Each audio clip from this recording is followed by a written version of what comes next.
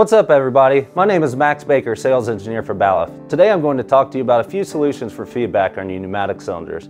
The first one here is what Balluff calls a V-twin. Now at first glance, these may appear to be normal reed switches, but they are not.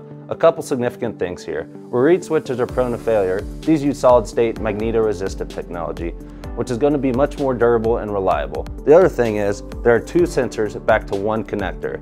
In this case, giving you an extend and retract position. This also cuts out the need for a second cable, so whether you're running them back to an IO-Link master or hardwiring back to a controls cabinet, you're cutting out the cost of the extra cables.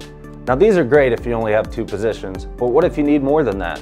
This is where Balluff's magnetic position sensor comes in, or as we call it, the BMP.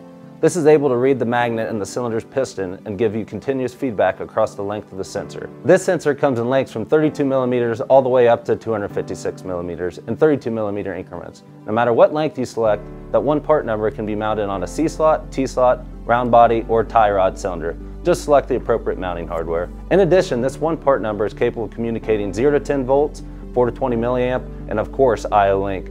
We have seen these used in a ton of different applications. Some examples are pneumatic grippers, gripping different parts, format change, engaging equipment. Resolution is 16-bit for analog and 1 micron on IO-Link.